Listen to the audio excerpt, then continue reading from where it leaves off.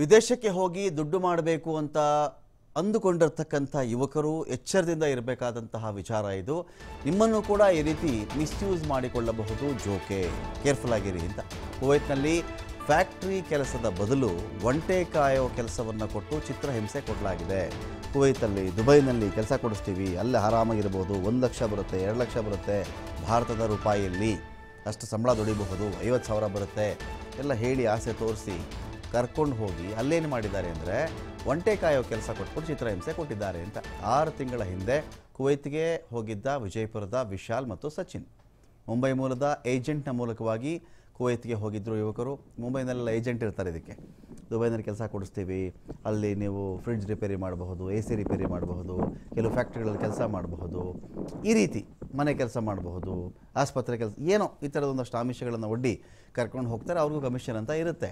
ಆದರೆ ಇಲ್ಲೇನಾಗಿದೆ, ಇವರು ಕಮಿಷನ್ನು ಕೊಟ್ಟಿದ್ದಾರೆ ಇವರು. ಇಬ್ಬರಿಂದ ಎಷ್ಟು ಕೊಟ್ಟಿದ್ದಾರೆ ಅಂದರೆ ಇವರು ಒಂದೊಂದು ಲಕ್ಷ ರೂಪಾಯಿ ಕೊಟ್ಟಿದ್ದಾರೆ ಏಜೆಂಟ್ಗೆ ನಮಗೊಂದು ಕೆಲಸಕ್ಕೆ ಸೇರಿಸ್ಬಿಡಿ ಅಲ್ಲಿ ಅಂತ. ಹಣ್ಣು, ತರಕಾರಿ ಪ್ಯಾಕ್ ಮಾಡೋ ಕೆಲಸ ಅಲ್ಲಿ ನಿಮಗೆ ಅಂತ ಹೇಳಿದ್ದಾರೆ ಯುವಕರಿಗೆ. ಮೂವತ್ತೇಳು ಸಾವಿರ ರೂಪಾಯಿ ಸಂಬಳನ ಕೊಡಿಸ್ತೀವಿ ಅಂತ ಯುವಕರಿಗೆ ಆಮಿಷ ಒಡ್ಡಲಾಗಿದೆ. ಆಮೇಲೆ ನೋಡಿದ್ರೆ ವಂಚನೆ ಆಗಿಬಿಟ್ಟಿದೆ. ಸಂಬಳ ಕೇಳೋದಕ್ಕೆ ಹೋದಾಗ ಯುವಕರಿಗೆ ಹಲ್ಲೆ ಮಾಡಿ ಜೀವ ಬೆದರಿಕೆ ಒಡ್ಡಿದ್ದಾರೆ. ಕುವೈತ್ನಿಂದ ಹರಸಾಹಸಪಟ್ಟು ಸ್ವಗ್ರಾಮ ಅಡವಿ ಸಂಗಾಪುರಕ್ಕೆ ಇವರು ವಾಪಸ್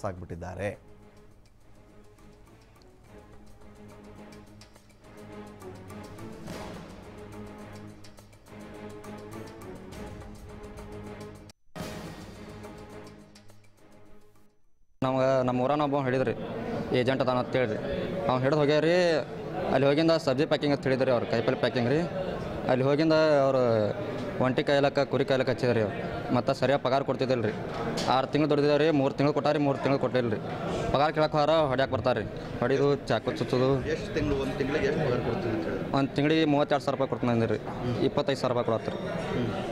ಆಮೇಲೆ ಇದು ಇದು ಮಾಡಿದಾರೆ ಅಲ್ಲಿ ನಿಮ್ಗೆ ಹೇಳಬೇಕಾದ್ರೆ ಯಾವ್ದಾರು ಕಂಪ್ನಿ ಸೇರಿಸ್ತೀನಿ ಅಂತ ಹೇಳಿದ್ರು ಏನಂತ ಹೇಳ್ತಾರೆ ಅದ ರೀ ಕಾಯಿಪಲ್ಲೆ ಪ್ಯಾಕಿಂಗ್ ಅಂತ ಹೇಳ್ರಿ ಕಂಪ್ನಿ ಅಂತ ಹೇಳಿ ಸೇರ್ಸಕ್ಕೆ ಅಲ್ಲಿ ಹೋಗಿ ಅವ್ರು ರಮೇಶ್ ಸಿಗ್ನೇನ್ ಸಾಹೇಬ್ ಇವ್ರು ನಮ್ಮ ತಂದೆ ತಾಯಿ ಹಚ್ಚಿದಾರೆ ಫೋನ್ ರೀ. ಅವಾಗ ಇವರು ಉಮೇಶ್ ಕಳ್ಕೊರ್ರಿ ಮತ್ತು ಮಲ್ಲು ಅವರು ನಮ್ಮ ಊರಿನ ಹಿರಿಯರು ಹೋಗ್ರಿ ರಮೇಶ್ ಜಿಗದಿನ್ ಅವ್ರಿಗೆ ಹೇಳಿದ್ರು. ಅವ್ರು ಹೇಳಿ ಲೆಟ್ರ್ ಕಳ್ಸ್ಯಾವ್ರಿ ರಮೇಶ್ ಜಿಗದಿನ್ ಅವರು. ಹೇಳಿಂದ ಅವರು ಅಲ್ಲಿ ಎಂ ಇಂಡಿಯನ್ ಎಂಬೆಸಿ ಐತೆ ಐತ್ರಿ. ಕೊಯ್ತಾಗ ರೀ ನಮ್ಮ ದೇಶದ್ರಿ ಅಲ್ಲಿ ಹೋಗಿಂದ ಅವ್ರ ಹೆಸರು ಕೊಟ್ರಿ ಎಲ್ಲ. ಅಲ್ಲಿ ಆರು ತಿಂಗಳು ಆತ್ರಿ ನಮಗೆ ನಮ್ಗೆ ನಮ್ಮ ಊರನ್ನ ಒಬ್ಬ ಹೇಳಿದ್ರಿ, ಏಜೆಂಟ್ ಅದಾನ ಅಂತ ಹೇಳ್ರಿ ಅವ್ನು ಹಿಡಿದು ಹೋಗ್ಯಾರಿ ಅಲ್ಲಿ ಹೋಗಿಂದ ಸಬ್ಜಿ ಪ್ಯಾಕಿಂಗ್ ಅಂತ ಹೇಳಿದ್ರಿ ಅವ್ರು ಕೈಪಲ್ಲಿ ಪ್ಯಾಕಿಂಗ್ ರೀ. ಅಲ್ಲಿ ಹೋಗಿಂದ ಅವರು ಒಂಟಿ ಕಾಯ್ಲಕ್ಕ, ಕುರಿ ಕಾಯ್ಲಕ್ಕ ಹಚ್ಚಿದ್ರಿ ಅವ್ರು. ಮತ್ತು ಸರಿಯಾಗಿ ಪಗಾರ ಕೊಡ್ತಿದ್ದಿಲ್ಲ ರೀ. ಆರು ತಿಂಗಳು ರೀ ಮೂರು ತಿಂಗಳು ಕೊಟ್ಟಾರಿ, ಮೂರು ತಿಂಗಳು ಕೊಟ್ಟಿಲ್ಲ ರೀ. ಪಗಾರ ಕೇಳಕ್ಕೆ ಹೋರ ಹೊಡ್ಯಾಕೆ ಬರ್ತಾರೆ ರೀ ಹೊಡಿದು ಸಮಸ್ಯೆ ಏನು ರೀ ಅವು ಅಲ್ಲಿ ಹೋದ ಟೈಮಾಗ ಭಾಳ ಅವ್ರು ಹೊಡೆದು ಬಿಡುದು ಮಾಡ್ಲತ್ತನಾರ ಈಗ ನಾವು ನಮ್ಮ ಊರಾನ ಹಿರಿಯರಿಗೆ ರೀ ಭೇಟಿ ಅದೀವಿ ರೀ ಅವ್ರು ಕನ್ನೂರು ಮಲ್ಲಣ್ಣವ್ರ ಅವರು ಇವ್ರು ಕರ್ಕೊಂಬಂದ್ರಿ ಏನು ಬಡುದು ಚಾಕು ತೋರಿಸಿದ್ರು ಏನೇನು ಒಟ್ಟು ಬಾಯಾಗ ಉಸಕಾಗಿ ಹೊಡಿದು ಮಾಡ್ತಿದ್ದತ್ರಿ. ನಾನು ನನಗೆ ಕೆಟ್ಟ ಅನಿಸ್ರಿ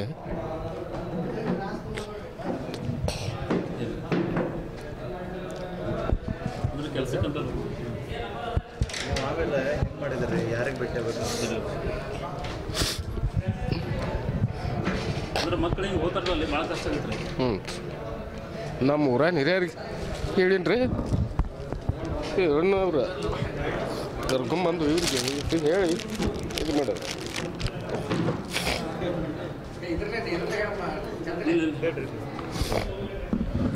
ಹೇಳಿ ನಮ್ಮ ಊರಾಗ ಹಿರಿಯರು ಎಲ್ಲ ಕರ್ಕೊಂಬಂದು ಇವ್ರು ಸಾಹೇಬ್ರಿಗೆ ಮಾಡಿ ಬೆಡ್ಸ್ ಮಾಡಿಸಿ ಎಲ್ಲ ಸುದ್ದಿ ಮಾಡ್ಯಾರ್ರಿ. ಆಮೇಲೆ ಅಂತ ಏನು ಕರ್ಸಿದ್ರೆ ಸಮಸ್ಯೆ ಇಲ್ರಿ. ಎಲ್ಲ ಸುದ್ದಾಗೈತೆ ರೀ ಹ್ಞೂ ರೀ ನಾವು ಬಿಜಾಪುರ ಜಿಲ್ಲಾ ಬಬಲೇಶ್ವರ ತಾಲೂಕು ಅಡವಿ ಸಂಗಾಪುರ ಅವಾಗ ನಾವು ಬ, ಏಜೆಂಟ್ ಏಜೆಂಟ್ ಹೇಳ್ತದ ನಾವು ಬಾಂಬೆಗೆ ಹೋಗಿದ್ದೀವಿ. ಅವಾಗ ಅವರು ಒಂದು ಲಕ್ಷ ರೂಪಾಯಿ ತೊಗೊಂಡು ನಮ್ಗೆ ಕೊಯತ್ಗೆ ಇಲ್ಲಿ ಕೆಲಸ ಮಾಡೋಕೆ ಹೇಳಿದ್ರು. ಕೊಯತ್ರಲ್ಲಿ ನಮ್ಗೆ ಕೆಲಸ ಮಾಡೋಕ್ಕೆ ಚೆನ್ನಾಗಿದ್ದಿರಲ್ಲ ನಮ್ಗೆ ಸಬ್ಜಿ ಪ್ಯಾಕಿಂಗ್ ಅಂತೇಳಿ ಒಂಟಿ ಮ್ಯಾಗೆ ಕೆಲ್ಸಕ್ಕೆ ಹಾಕಿದ್ರು. ಆದ ಕಾರಣ ನಾವು ಅಲ್ಲಿ, ನಾವು ಊರಿನ ಹಿರಿಯರಿಗೆ ಹಾಗೂ ನಮ್ಮ ಉಮೇಶ್ ಕುಲ್ಕುಲ್ ಅವರು ಹಾಗೂ ಮಲ್ಲು, ಇದು ಸರಿ ಸರ್. ಅಲ್ಲ ಈ ನೀವು ಹೆಂಗೆ ಹೋದ್ರಿ? ಯಾರು ಕರ್ಕೊಂಡು ಹೋದ್ರಿ ನಮಗೆ ಅಲ್ಲಿ ಬಾ ನಮ್ಮ ಊರಲ್ಲಿ ಒಬ್ಬ ಅಣ್ಣ ಹೋಗಿದ್ದಾರೆ. ಕೋಯತ್ ಕೆಲಸ ಮಾಡಲಿ. ಅವರು ಬಾಂಬೆದ ಏಜೆಂಟ್ಗೆ ಹೇಳಿ ಹಿಡಿದ ನಾವು ಹೋಗ್ಲಕ್ಕೆ ಟ್ರೈ ಮಾಡಿದ್ದೇವೆ. ರೀ ಅಲ್ಲಿ ಹೋಗಿದ ತಕ್ಷಣ ವೆಜಿಟೇಬಲ್ ಅಂತ ಹೇಳಿ ಒಂಟಿ ಮ್ಯಾ ಒಂಟಿ ಮ್ಯಾಗ ಕೆಲಸ ಮಾ ಹಾಕಿದ್ವಿ. ಆದ ಕಾರಣ ಅವಂಗೆ ಹೇಳಿದ್ದೇವೆ ಮೂರು ತಿಂಗಳು ಚೇಂಜ್ ಮಾಡ್ತೀನಿ ಚೇಂಜ್ ಮಾಡ್ತೀನಿ ಅಂತ ಅಂದ್ರೆ ಚೇಂಜ್ ಮಾಡಲಿಲ್ಲ. ರೀ ಮತ್ತು ಚೇಂಜ್ ಮಾಡೋ ಸಂಬಂಧ ನಾವು ಮನೆಗೆ ಫೋನ್ ಮಾಡಿ ನಾವೆಲ್ಲ ಹೇಳಿದ್ದೇವೆ. ರೀ ಅಲ್ಲಿ ಹೊಡೆಯೋದು ಪೇಮೆಂಟ್ ಕೊಡ್ತಿದ್ದಿಲ್ಲ ರೀ. ಮತ್ತು ಊಟದ ತೊಂದರೆ ಭಾಳ ಐತಿ ಮುಂಜಾನೆ ಬೆಳಗ್ಗೆ ನಾಷ್ಟ ಮಾಡಿದ್ದೇವೆ ಅಂದರೆ ರಾತ್ರಿ ನೈಟ್ ನೈಟ್ ಹನ್ನೆರಡು ಗಂಟೆಗೆ ಊಟ ಮಾಡ್ತಿದ್ದೇವೆ ರೀ. ಭಾಳ ಟಾರ್ಚರ್ ಮಾಡ್ತಿದ್ದೆ. ಹೊಡೆಯೋದು ಬಡಿಯೋದು ಪೇಮೆಂಟ್ ಕೇಳಿದ ತಕ್ಷಣ ಹೊಡೆಯೋದು ಬಡಿಯೋದು ಮಾಡ್ತಿದ್ದೆ. ನಾ ವೆಜಿಟೇಬಲ್ ಪ್ಯಾಕಿಂಗ್ ಅಂತ ಹೇಳಿ ಒಂಟಿ ಮ್ಯಾಗ ಕೆಲಸ ಹಾಕಿದ್ರು ವೆಜಿ ಒಂಟಿ ಒಂಟಿ. ಹಾಂ ಒಂಟಿ ಮೇಲೆ ಹಾಕಿದ್ದೆ ಕೆಲಸಕ್ಕೆ. ಹಾಂ ಕೋಮಲ್ ಕೋಮಲ್ ರೀ. ಈಗ ಕುವೈತ್ಗೆ ಹೋಗಿದ್ದಂತ ಯುವಕ ನಮ್ಮ ಸಂಪರ್ಕದಲ್ಲಿದ್ದಾರೆ ಮಾತಾಡಿಸ್ತೇನೆ. ವಿಶಾಲ್ ಅಂತ ಹೇಳಿ. ವಿಶಾಲ್ ನಮಸ್ಕಾರ. ನಮಸ್ಕಾರ ಸರ್. ಯಾವಾಗ ಯಾವಾಗ ಹೋಗಿದ್ ವಿಶಾಲ್ ನೀವು ಕುವೈತ್ಗೆ? ನಾವು ಫೆಬ್ರವರಿ ಹದಿನೇಳನೇ ತಾರೀಕಿಗೆ ಹೋಗಿದ್ದೆ ಸರ್. ಫೆಬ್ರವರಿ? ಹಾ ಸರ್. ಯಾರು ಕರ್ಕೊಂಡು ಹೋಗಿದ್ ನಿಮ್ಮನ್ನ ಕುವೈತ್ಗೆ? ನಮ್ಗೆ ಒಬ್ಬ ಅಣ್ಣ ಇಲ್ಲಿ ಅಮ್ಮಯ್ಯನ ಅಂತ ಹೇಳಿ ಇದಾರೆ ಸರ್ ನಮ್ಮ ಊರಲ್ಲಿ ಅವರು ಹೋಗಿ ಎರಡು ವರ್ಷ ಆಯ್ತು. ಹ್ಮ್. ಅವರು ನಮ್ಗೆ ಹೇಳಿದ್ರು ಹಿಂಗ ನಿಮ್ಗೆ ಕೆಲಸ ಚಲೋ ತಂದ್ ಐತಿ ನೀವು ಕೆಲಸ ಮಾಡ್ತೀರ ಅಂತ ಅಂದ್ರು. ಹ್ಞೂ ಸರ್ ಮಾಡ್ತೀವಿ ಅಂದ್ರೆ ನಾವು ಪಾಸ್ಪೋರ್ಟ್ ಅದು ನಮ್ಮ ಸ್ವಂತ ಖರ್ಚಿನಿಂದ ಪಾಸ್ ಆದ ಕಾರಣ ಏಜೆಂಟ್ ಹಿಡಿದು ಹೋಗಿದ್ದೇವೆ ಸರ್. ಓಕೆ ಹ್ಮ್. ಎಲ್ಲಿ ಎಲ್ಲೋ ಕೆಲ್ಸಕ್ಕೆ ಸೇರ್ಕೊಂಡ್ರಿ ಅಲ್ಲಿ ನಾವು ಕೊಯತ್ಗೆ ಸರ್. ಹ್ಮ್ ಅಲ್ಲ ಏನ್ ಕೆಲಸ? ಅಲ್ಲಿ ಯಾವ ಕಂಪನಿ ಏನ್ ಕಥೆ ಏನ್ ಕೆಲಸ ಅಂತ ನಿಮ್ಗೆ ಹೇಳಿದ್ರು? ನಮ್ಗೆ ವೆಜಿಟೇಬಲ್ ಪ್ಯಾಕಿಂಗ್ ಅಂತ ಹೇಳಿ ನಮ್ಗೆ ಒಂಟಿ ಮೇಲೆ ಹಾಕಿದ್ರು. ಹ್ಮ್. ಮತ್ತೆ ಅಲ್ಲಿ ಇಲ್ಲಿ ಪೇಮೆಂಟ್ ಮೂವತ್ತೆರಡು ಸಾವಿರ ರೂಪಾಯಿ ಹೇಳಿದ್ರು. ಪೇಮೆಂಟ್ ಸರಿಯಾಗಿಲ್ಲ. ಹ್ಮ್. ಎಷ್ಟು ಕೊಟ್ರು ಪೇಮೆಂಟು ನಿಮಗೆ?